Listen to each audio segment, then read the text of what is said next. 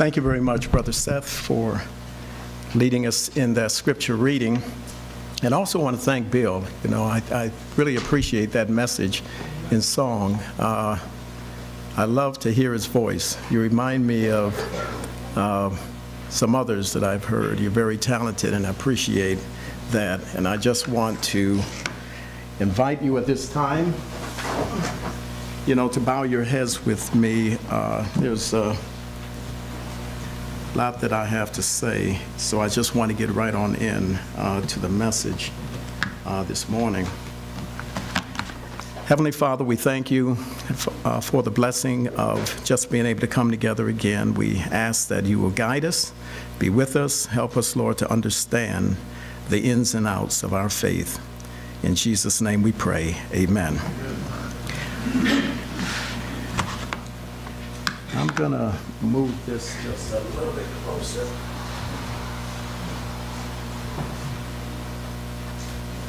Ah, okay. I'd like to turn your attention to Galatians 5 and verse 1. And the Word of God says, Stand fast, therefore, in the liberty wherewith Christ hath made us free. A particular interest in religious liberties comes quite natural for Seventh day Adventists. We consider ourselves to be a people of prophecy both because of our origin and the emphasis that we place on the predictive passages of Scripture. And of special interest to us is the one that's found in Revelation 13 and verse 11, where the Word of God says, And I saw another beast coming up where? Out of the earth, suggesting that some other beast had come up before it. And it had two horns like a lamb and it spake as a dragon. In Revelation 13 11 is foretold the rise of the United States of America at the right place, at the right time, and also with the right characteristics. And this is the first time in biblical prophecy, with the exception of Revelation 11, where a nation is represented by a non carnivorous beast. All of the other nations prior was represented by vicious carnivorous beasts. But here we have a beast that have lamb-like qualities. And we are told in verse 12 that this particular beast of the United States will begin to change. It will begin to exercise all of the power of the first beast that's mentioned in Revelation 13. But let's take a look at it. Let's look at the 13th verse here. And he exercised all the power of the first beast before him, and caused the earth and them which dwell therein to worship the first beast, whose deadly wound was healed.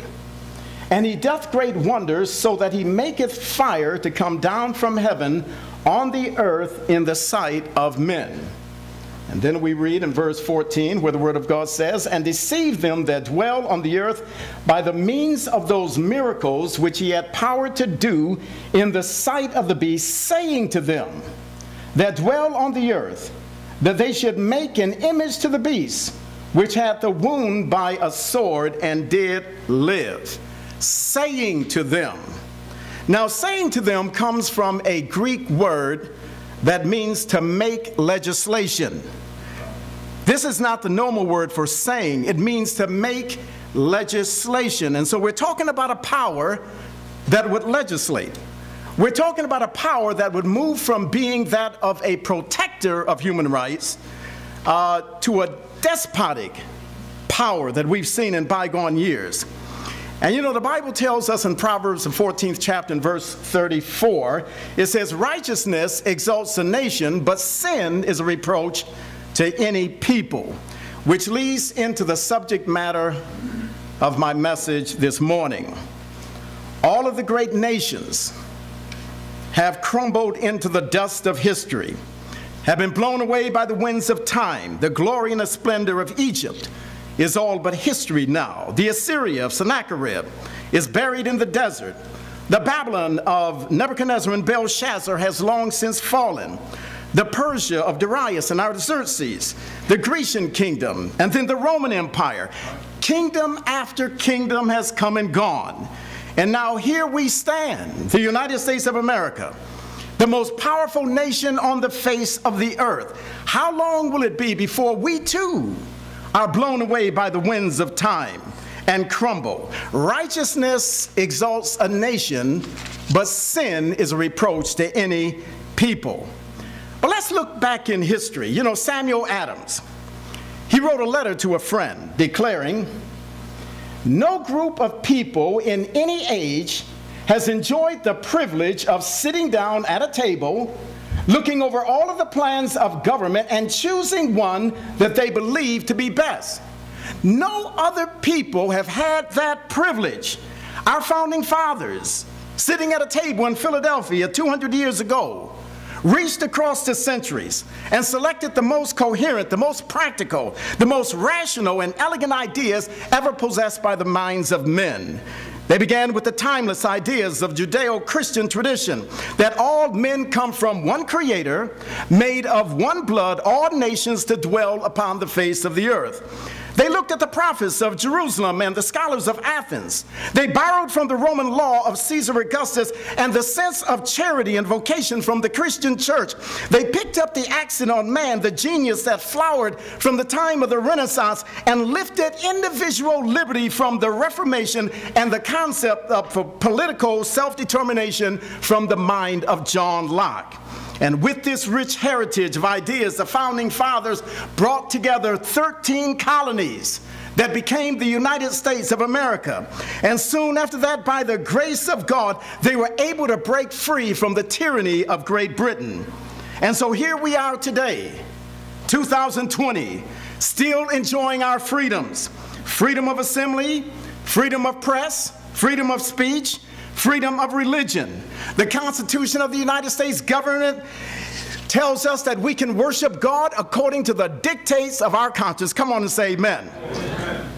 But it's important for us to recognize that the persecutions that existed in bygone years in other nations because of a lack of freedom is one day going to be experienced of God's people right here in the United States.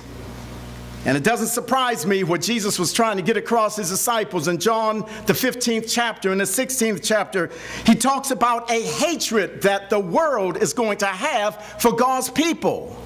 It is a hatred that the world have because they are like him. But we find in the 16th chapter of John, particularly verses 1 and 2, I want to bring your attention. The Word of God says, Jesus says, These things have I spoken unto you, that you should not be offended. They shall put you out of the synagogues. Yea, the time cometh that whoever killeth you will think that they are doing God's service. And these things will they do unto you because they have not known the Father nor me. And so the Bible is saying that people will kill thinking that they're doing God a service. And I've asked myself the question why did Jesus tell his disciples this at such a critical moment in their lives? And it comes to me that there was three messages that I believe that Jesus was trying to get across to his disciples. First of all, he wanted his disciples to understand the nature of religious liberty. He wanted to recognize them to recognize that even amongst his own disciples, there were religious bigots. And one disciple in particular thought that the only ones that were going to be saved in God's kingdom were the Jews. They were the only ones that had the bona fide right to enter therein. Jesus wanted his disciples to understand that religious bigotry can be a very evil thing. And religious bigotry can grow and grow and grow and reach such monstrous proportions that people can commit some of the most inhumane acts and think that they are doing something very good, something that God approves of, something that is helpful. And when we look in the history of the world, we find out that most of the persecutions that were initiated were not initiated by people outside of the church, they were initiated by people in the church. In the 19 in the 1660s or the uh, 1600s when the Puritans came over to the shores of this land. They wanted to make everybody pure, everything good. But there was a group of Baptists and, and Quakers that wanted to dwell with them. And the Puritan says, hit the road. You, you got till sundown to get out of Dodge. And the Baptists were able to read the handwriting on the wall. They left. But the Quakers decided, we're not going anywhere. They came back and eight of them were lynched. And these were good people. These were religious people. These were people that wanted to purify a group and make everybody else good just like them. And so we need to understand that as Christians, as Christians, the greatest danger is not going to come from the communists, not the atheists, not the folks that want to get prayer and Christmas out of the school system, but the greatest danger comes from good people, church folks that want to make this a Christian nation. And I'm concerned about the changes that are taking place in our, in our organization, in our, Christian, in our Christian church. Organizations, Christians are working to overturn the present structure of this country. Now, there's nothing wrong with Christianizing a nation as long as you go about doing it the right way. Winning a nation to Christ voluntarily is one thing, but using laws and government to try to compel morality and advance the cause of religiosity is something altogether different. Back a number of years ago, before some of you were born, the former President Ronald Reagan you know, during his second term, two months into his second term, there was a representative of the, uh, of the religious right movement. A person, some of you probably remember Jerry Falwell. And what was Jerry Falwell seeking? We want laws. We want laws, the moral majority. And the main objective of the righteous, these people that were backing Jerry Falwell, to, was to improve the land that had drifted away from God. And when you, when you listen to them, they sound so good. They were pro American, they were pro family, they were strong supporters of the Commonwealth of Israel, they were against homosexuality, they were against abortion. And people were drawn to what they were saying by the droves, even members of our own church was getting their blessing on Sunday morning, turning on the television and rocking re and reeling with Jimmy Swaggart. and then the, uh, the government finally ended up shutting down Jerry Falwell. They ended up revoking his 501c3 status. See, that's the danger when a church begins to get involved politically. When he lost his 501c3 status, he had to pay taxes on everything that he owned. And after a while, you didn't hear another peep from Jerry Falwell. If they were to revoke our 501c3 status, we would have to pay well over a billion dollars for all of the assets that we own. Today, Jerry Falwell is peacefully resting in his grave he died in 2007, but I want you to know that there's a heap of folks that's carrying on his legacy. Preachers like Pat Robertson, Joel Osteen, T.D. Jakes, Kenneth Copeland, Creflo Dollar, you know, and many of them are Catholics in disguise hovering around the White House. There is a real danger when you mix religion with politics. But I would just like to shift my gears a little bit because we've been talking about the second beast of Revelation 13. But we need to say something about the first beast. When Pope Francis came to the United States, speaking to a joint session of Congress, he made a statement in reference to the common good. How many of you are familiar with that? The common good is a Roman Catholic social teaching, and Pope Francis stated that the common good has to become global. And this business of the common good was also the top agenda item when he addressed the United Nations in the same period. In this encyclical letter, officially referred to as Laudato he addressed leaders of every nation, telling them that they must, not that they may, but they must give up national interests national sovereignty for the common good. In other words, he was telling them that individual personal liberties must give way, must be surrendered for globalism in order for everybody to live together as one.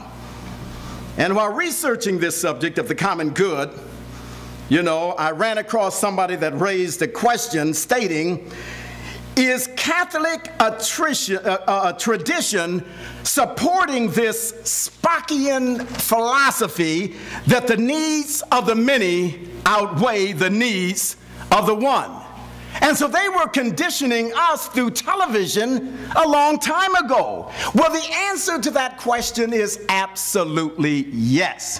When the Pope speaks about the common good, who is he quoting from? He's actually quoting from a 12th century Catholic priest by the name of Thomas Aquinas. Thomas Aquinas stated that the death penalty can be applied in order to safeguard, in order to preserve the common good. His exact words are right here. This is what he says. Therefore, if a man be dangerous and infectious to the community on account of some sin, it is praiseworthy and advantageous that he be killed in order to safeguard what? The common good. When Pope Francis made that statement about the common good being necessary, he was speaking of that in conjunction with climate change. And within the same context, he was talking about a Sunday law. In other words, he was saying that in order for there to be a climate action taking place, a Sunday law must be enforced in order for the climate to get better. And all nations must accept this Sunday law. Now, keep in mind that this is not the first time that the Roman Catholic Church sought to enforce a Sunday law. During the early years of our country, Sunday laws, also known as blue laws, were legislated and enforced on the state level. Those who violated these blue laws by working on Sunday, they were fined and imprisoned. In the 1880s, there were many Seventh day Baptists and Seventh day Adventists that were thrown into jail or fined because they worked on Sunday. But the 1888 folks that were trying to implement a Sunday law on the federal level were Roman Catholic infiltrators who had banded together with apostate Protestants under the guise of the common good. And then May 21, 1888, a senator by the name of Henry Blair introduced Bill 2983, the National Sunday Rest Bill, to Congress. And that's when A.T. Jones, a representative of the, of the uh, Adventist Church, went into action, thank God. He was able to present his argument of opposition to the National Sunday Rest Law before the United States Committee on Education and Labor. The Holy Spirit powerfully used A.T. Jones, and the rest bill, Sunday rest bill, was defeated, thank God. so, Sunday laws are not something that is new to Americans. Pope Francis, when he talks about a supranational common good must be clearly identified. He's talking about climate change, which automatically necessitates a special legal authority capable of facilitating a solution. And so the question is who are they proposing to be this supranational, not natural, but supranational authority that will facilitate solutions for climate change? Now, we as Seventh day Adventists, we know the answer to that question. Come on and say amen. It will be Pope Francis. Remember what we learned in Revelation 13? How the dragon, the devil, gave to this first beast of Revelation 13 is power, seat, and authority. And what does that authority entail according to what Jesus was talking about in Matthew, the eighth chapter, uh, verses 9 to uh, 5 to 9, to give you an idea. And when Jesus was entered into Capernaum, there came unto him a centurion beseeching him and saying, Lord, my servant lieth home sick of the palsy, grievously tormented. And Jesus said unto him, I will come and heal him. Now get this. And the centurion answered and said, Lord, I am not worthy that thou shouldest come under my roof, but speak the word only, and my servant shall be healed. For I am a man under authority, having soldiers under me, and I say to this man, Go, and he goeth. And to another man, Come, and he cometh. And to my servant, Do this, and he doeth it. So, what are we talking about? So, according to Rome, this solution facilitating authority has to have power that is capable of telling somebody, do this, do that, go here, go there, and they must do it. What he's talking about is a government that has the power, the authority, the influence that supersedes the boundaries of a single nation. And according to prophecy, the papacy is going to use the United States government as a hammer to start hammering people into submission. Perhaps I shouldn't say will is going to, but they are doing it. The United States of America when every representative of the Supreme Court are Roman Catholic, that is a Roman Catholic state. And I say all nine because the other four or three that claim to be Jewish or something else, they're actually doing the biddings of Rome. Come on and say amen. In other words, we're talking about a power and authority and it's not going to be long, brothers and sisters, before an executive order is going to go forth and it's going to activate, it's going to enforce these blue laws that are already on the books. We are living in a time where this can happen at any moment. When Pope showed up at the White House a few years ago in 2015, the Trump administration really, really, really blurred the line of separation between church and state a lot of documents were signed in order for this beast power uh, uh, uh, to make it really fly. Uh, climate change has to be turned into a moral dilemma or a moral problem necessitating a moral solution. That's why the Bible tells us that the whole world is going to wander after the beast.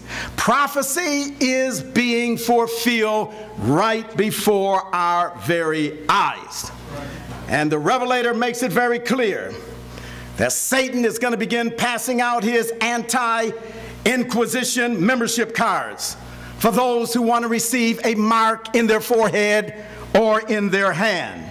Don't forget, the Catholic Inquisition Board is still in effect today. However, it goes under a different name.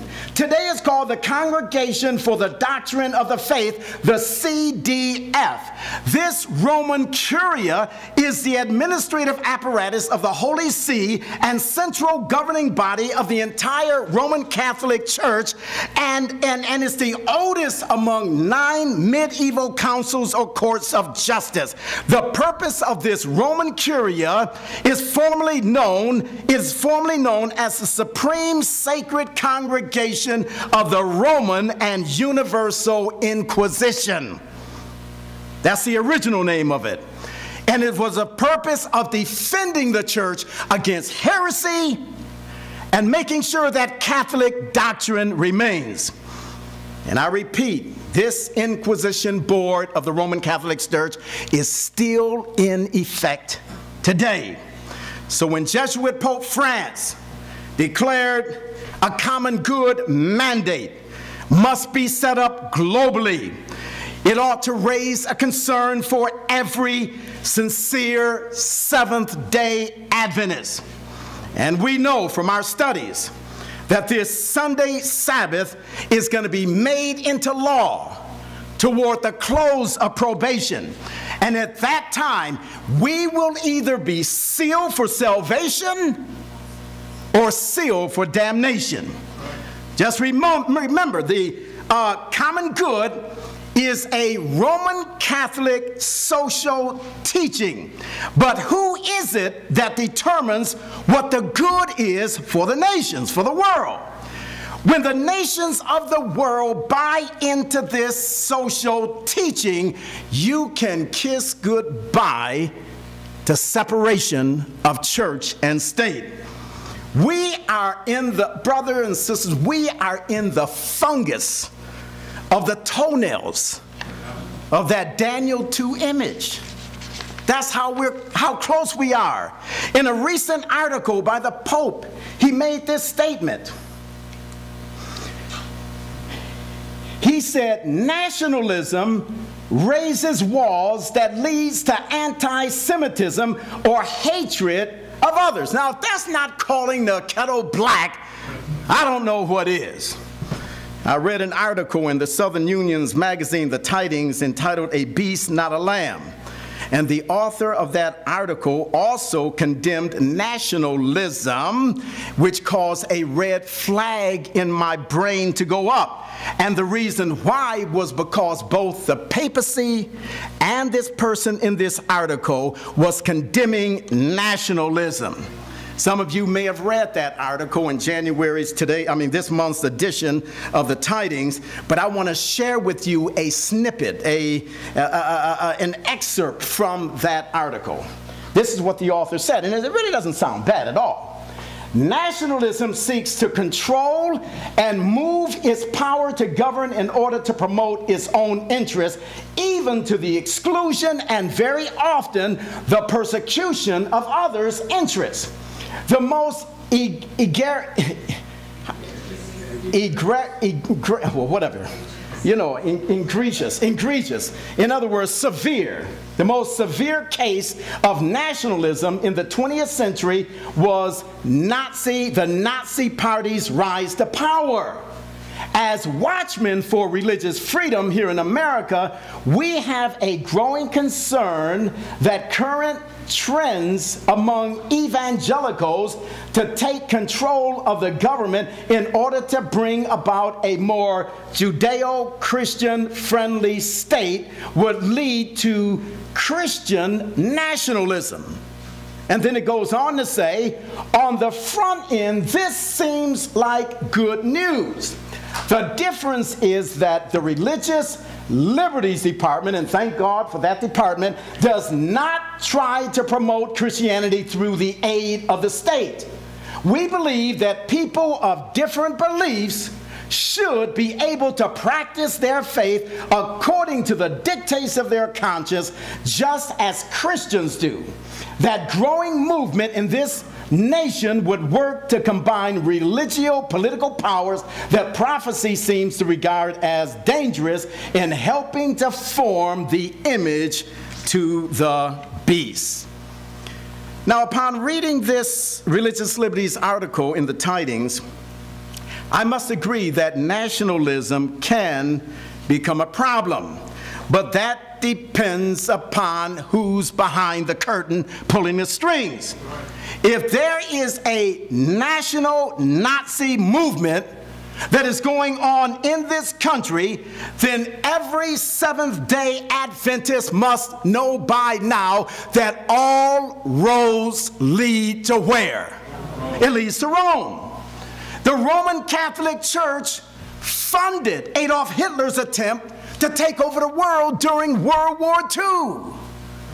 That's why they had to apologize to the Jews. In order for them to undermine the people's rights in Germany, they needed to get an anti terrorist bill passed. And how did they go about doing it? By setting the Reichstag, that's like the Capitol building here, ablaze. And then they blamed it on the communists. They blamed it on the terrorists. They blamed it on the Jews. The same thing happened during the Bush administration when the Twin Towers were bombed. As soon as those towers were bombed, all of these anti terrorist legislations were being crammed down our throats. And, brothers and sisters, practically every president, regardless of country or a political affiliation is operating at the behest of Rome. You got to keep that in mind. Even President Obama is a 32nd degree Prince Hall Freemason.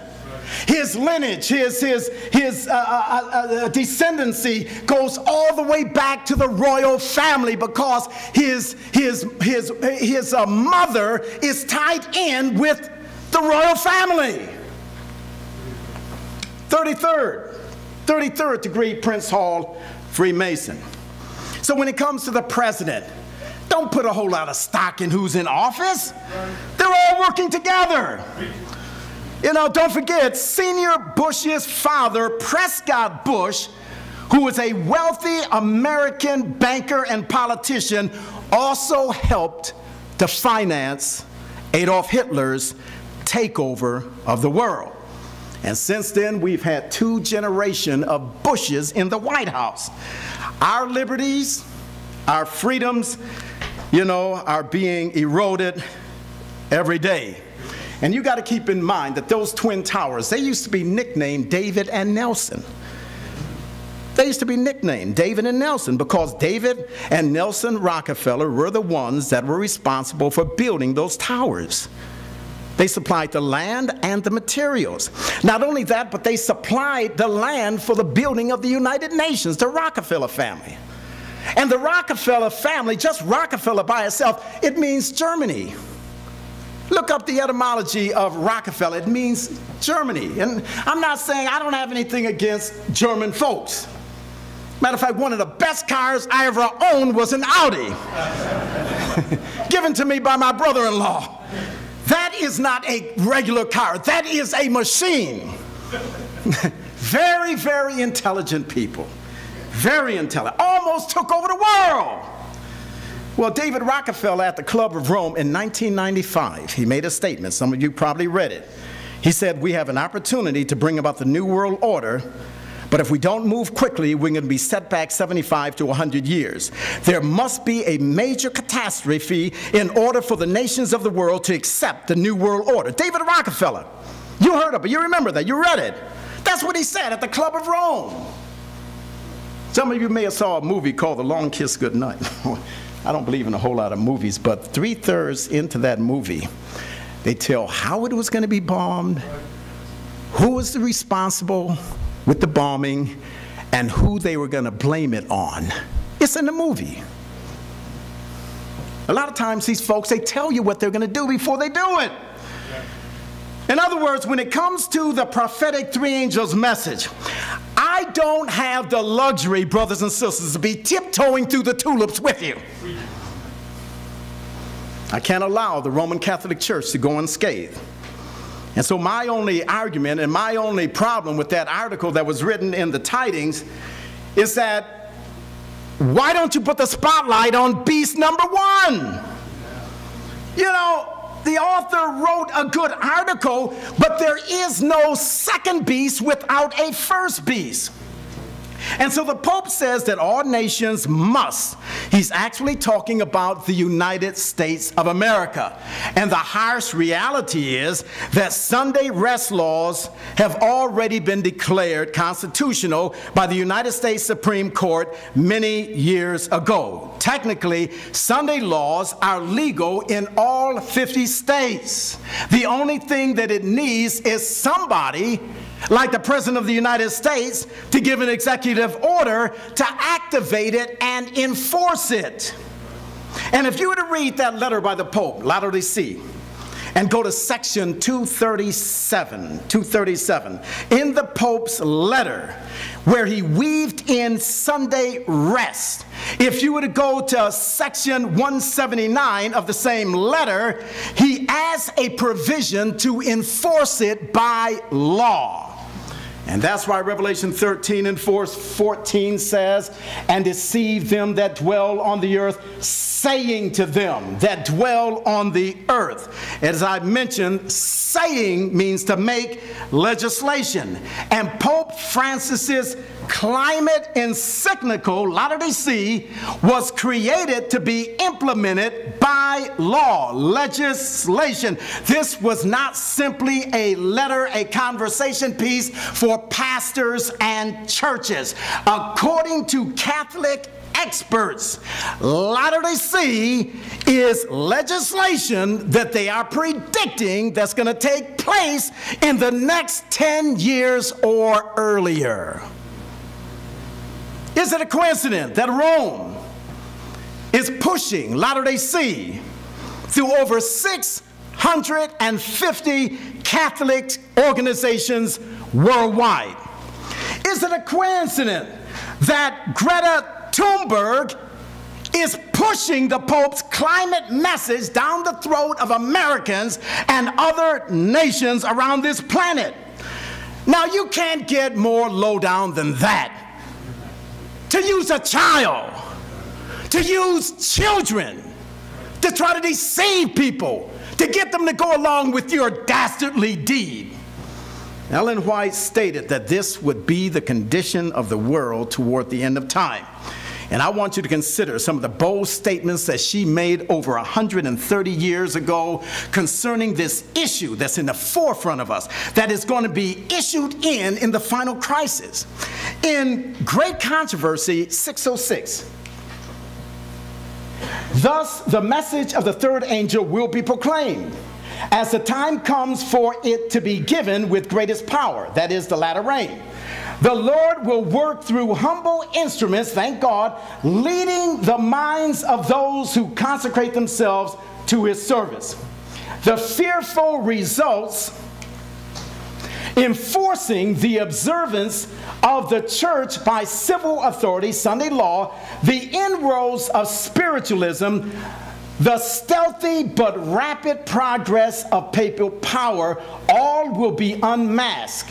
And by these solemn warnings, the people will be stirred. Thousands upon thousands will listen who have never heard words like these. Brothers and sisters, we have a work to do to let people know what is coming. It's worthy to notice that when these predictions were made over 130 years ago, the Pope wasn't going around rallying people together to try to bring about a one world government. Today, Rome has achieved what medieval popes could only have dreamed of. Rome has become the spiritual conscience of the world. Rome is the greatest geopolitical influence with regards to spiritual matters. And secondly, Rome's influence today spreads far beyond medieval Western Europe. They are now working to shape the religions and the political landscape of Asia, Africa, Australia, South America, North America, in other words, the entire, entire civil world. The healing of the deadly wound is one of the clearest indications that we are nearing home. It's almost over. And unlike earthquakes, floods, wars, disasters, this healing of the beast happens only one time in Bible prophecy. All nations and entities of power are all coming together and uniting with Rome. Coming back to Mama. When Ellen White warned us about this threefold union, about Protestants and Catholics coming together, were no interfaith conversations back then. Ecumenism uh, uh, uh, uh, is a modern phenomenon. Protestants and and, and Catholics only recently have been really engaging in building bridges in the last 60 years. However, inspiration predicts that not only will Protestants and Catholics unite, but that they're going to reach across the gulf and they're going to clasp the hand of spiritualism. This is what it says over here. Great Controversy 588. The Protestants of the United States will be foremost in stretching their hands across the gulf to grasp the hand of spiritualism. They will reach over the abyss to clasp the hands of the Roman power, and under the influence of this threefold union, this country will follow in the steps of Rome in trampling on the rights of conscience. When that statement was made in 1888, it was un- incomprehensible that Bible believing Protestants would form a threefold union entering into collaboration and joint worship service with Roman Catholics, pagans, spiritualists, pantheists, Buddhists, Hindus, witches. But it's happening today. Just as historic Seventh day Adventist eschatology said it would happen. I want you to listen to what God's servant says in Last Day Events, page 125. The Sunday movement is now making its way in darkness. The leaders are concealing the true issue, and many who unite in the movement do not themselves see whether the undercurrent is tending. We also read in Signs of the Time, January 17, 1884, paragraph 14. They, meaning the leaders, will point to calamities on land and sea, to the storms of wind, the floods, the earthquakes, the destruction by fire, judgments indicating God's displeasure because Sunday is not sacredly observed. These calamities will increase more and more. One disaster will follow close upon the heels of another. And, brothers and sisters, I don't mean to belabor this point, but I want you to see how the devil is going to use the Roman Catholic Church and use disasters in order to bring in Sunday legislation. I bring your attention to Great Controversy 589 and 90. This is what she says. Satan worked through the elements also to garner his harvest of unprepared souls. He has studied the secrets of the laboratories of nature. And he uses all of his power to control the elements as far as God allows in accidents and calamities by sea and by land, in great conflagrations, in fierce tornadoes and terrific hailstorms, in tempest, flood, cyclones, tidal waves, and earthquakes, in every place and in a thousand forms, Satan is exercising his power. He sweeps away the ripening harvest, and famine and distress follow. He imparts to the air a deadly taint, which is very important for us to remember. And thousands perish by the pestilence. These visitations are to become more and more frequent and disastrous. Destruction will be upon man and beast. And then she quotes from Isaiah 24, verses 4 and 5 The earth mourneth and fadeth away the haughty people do languish. The earth also is defiled under the inhabitants thereof, because they have done what? Transgressed the laws, changed the ordinance, broken the everlasting covenant. And then the great deceiver will persuade men that those who serve God are causing these evils. The class that have provoked the displeasure of heaven will charge all their troubles upon those whose obedience to God's commandments is a perpetual reproof to transgressors. It will be declared that men are offending God by the violation of the Sunday Sabbath, that this sin has brought calamities which will not cease until Sunday observance shall be strictly enforced and that those who present the claims of the fourth commandment, thus destroying reverence for Sunday, are troublers of the people, preventing their restoration to divine favor and temporal prosperity. Brothers and sisters, it is important for us to recognize that a Sunday law is coming. First of all, Sunday laws are going to come through stealth meaning it's going to be a rider. It's going to come in on something else. It's going to come in concealed. And secondly, climate disasters is the main reason for establishing through the papacy the Sunday legislation. The Pope's encyclical letter is a warning against climate, about the climate, and addresses what he calls natural but I want to say man made disasters. I don't mean to come off as a mind reader, but I got a feeling that some of you are saying right now, you can't control the weather. Look here, brothers and sisters, weather modification is a Pentagon project called HAARP. HAARP stands for High Frequency Active Aurora Research Project. And if you were to go to Gakona, Alaska, you would find acres of microwave towers that beam high energy into the ionosphere that is reflected back into the ocean.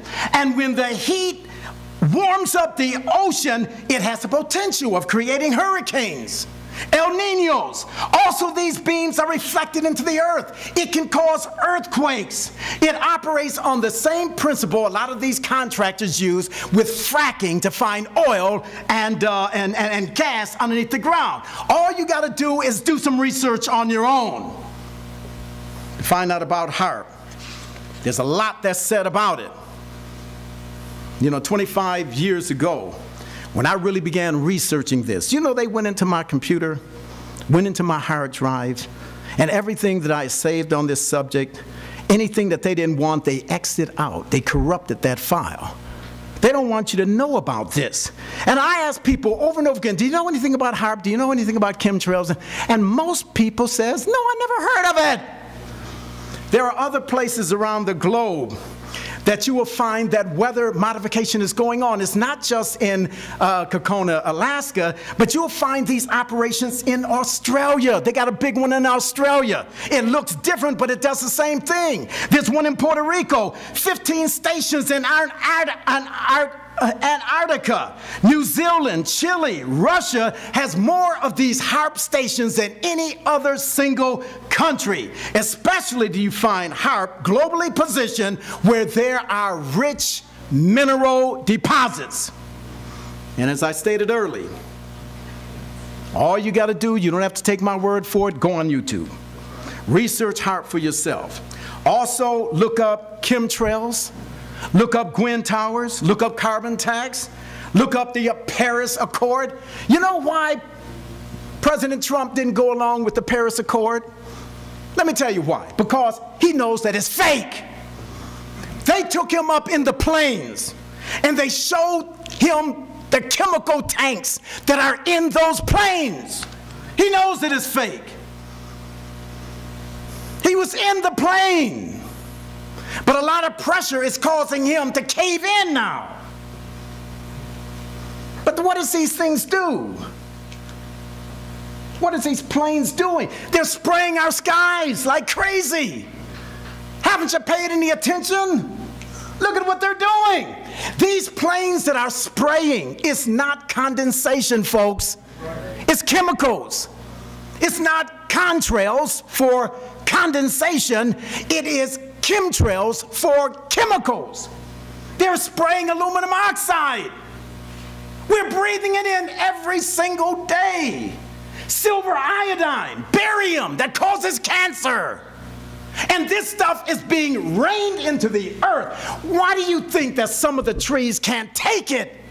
When these metals are rained down into the earth, they are dying. You see, trees where the leaves supposed to fall off in the fall, they stay on the tree, brown leaves. That is not natural. It's killing plant life.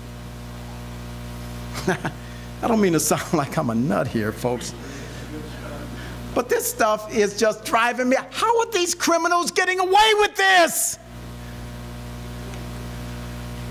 Folks, the eyes are useless when the mind is blind. That's our problem. When I used to work in my garden back in 2004, the sun is very important for plants to grow.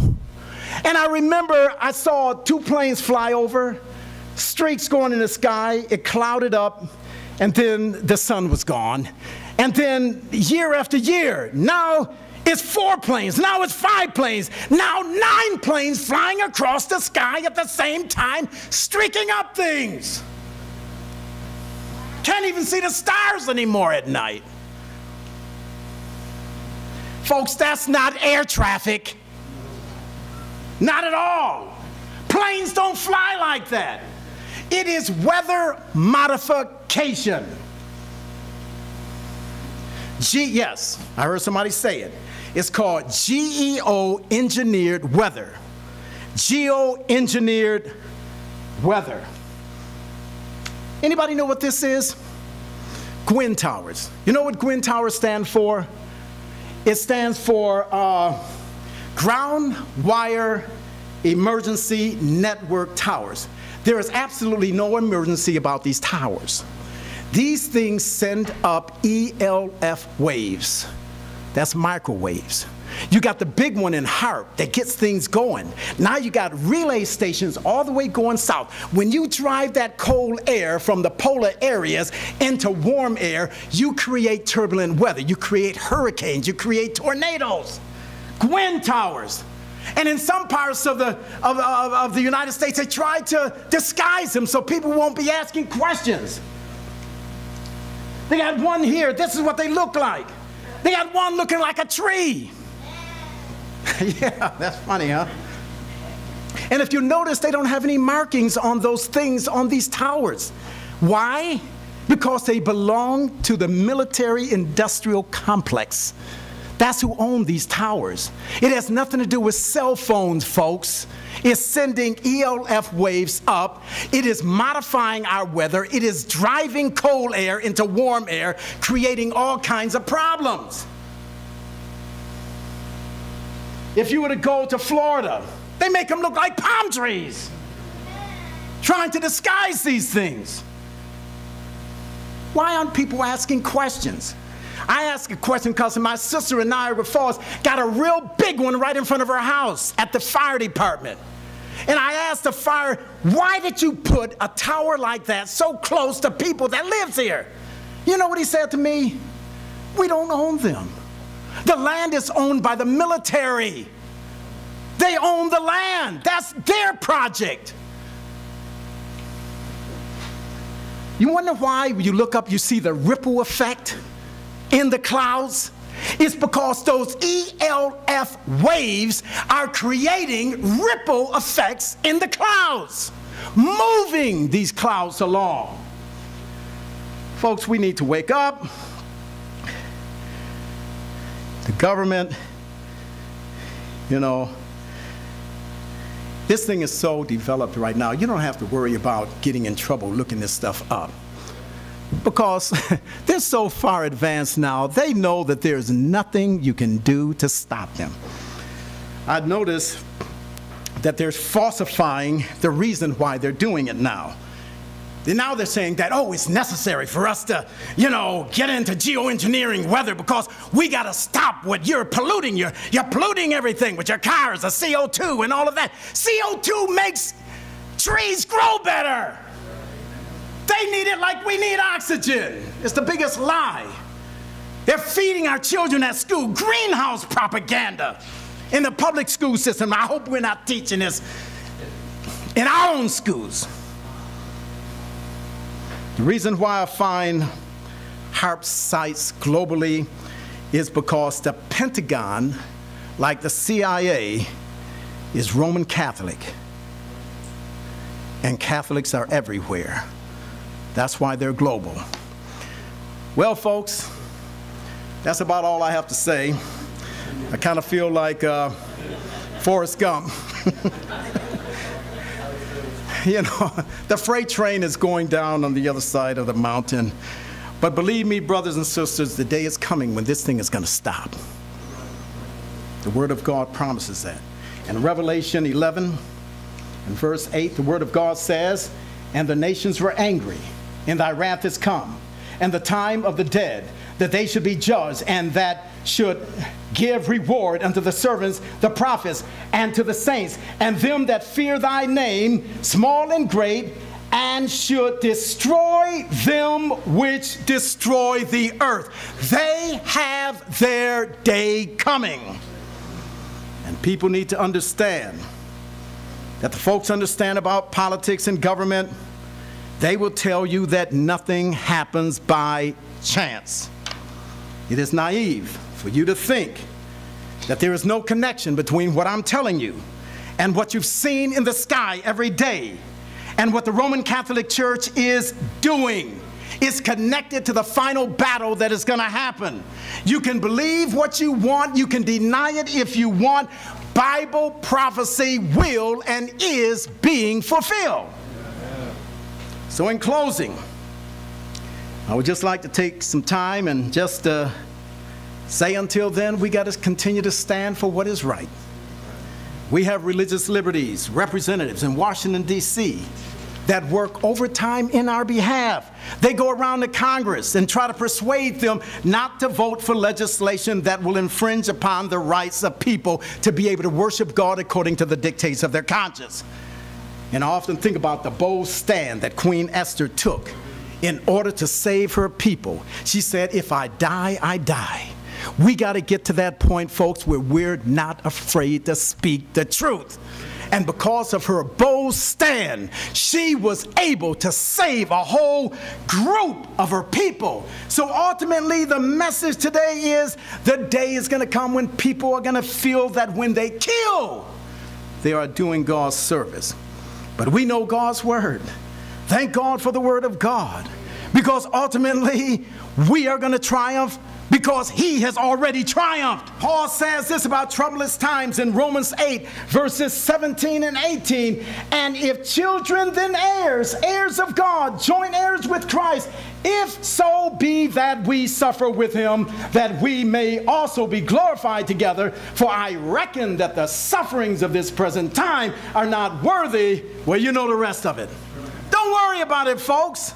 Brothers and sisters, if you suffer for Christ, the promise is sure. You also will be glorified with Christ. Christ went to the cross so that you could have a crown. And if you suffer with him, if you identify with him in your suffering, surely you will join in with the reward that he has to offer.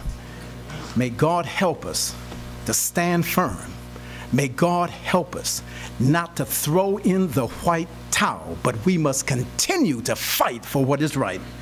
Heavenly Father, we thank you for your word. We thank you, Father, for the spirit of prophecy. We thank you, Father, for leading us step by step so we can understand exactly what is happening. Because if we don't understand what is happening when all of these things begin to happen, typhoons uh, uh and, and, and and, and hurricanes and, and, and, and tornadoes and destruction and fire, we may be food to go along with this power that is behind the scenes, pulling the strings and deceiving mankind. Father, may we be faithful, open up our eyes. And Father, we'll be careful to give you all the praise and all the glory. In Jesus' name we pray. Amen.